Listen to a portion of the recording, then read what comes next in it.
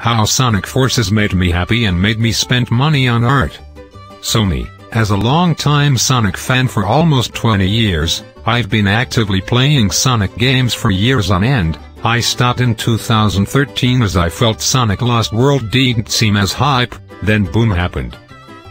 Sonic Forces happened three years later but I didn't pay much mind to it. Funnily enough, I pre-ordered a Persona 5 art book that was coming out the same week as Sonic Forces, but because I didn't have as much money I had to trade off Sonic Forces release in favor of the art book.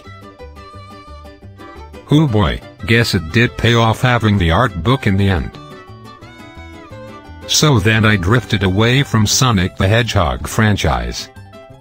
Until the time I finally got a gaming computer because I had saved enough money and because I am working from home. I spend my time off playing recording stuff for YouTube and working out on Ring Fit Adventure. Then I bought Sonic Forces on PC. Then that's when it happened. Sonic Forces as a game gave me something I would find impossible in normal terms. A child, so basically what I did was jokingly make me a bird character.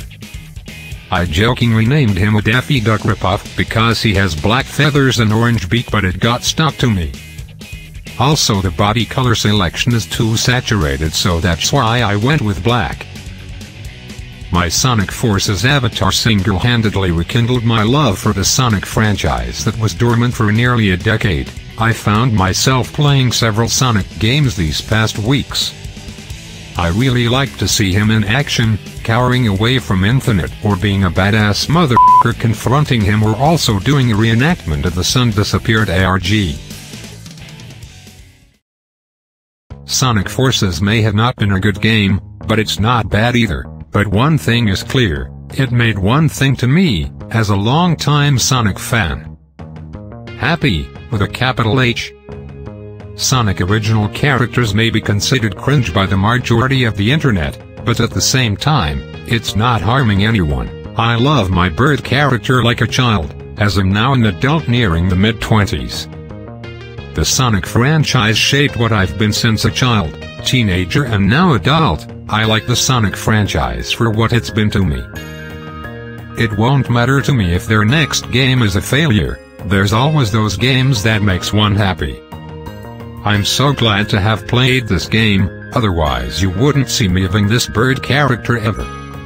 Ever since I made it I've been looking to commission artists to draw him, it's not only because I really like him, at the same time I wanna support artists, they deserve the money.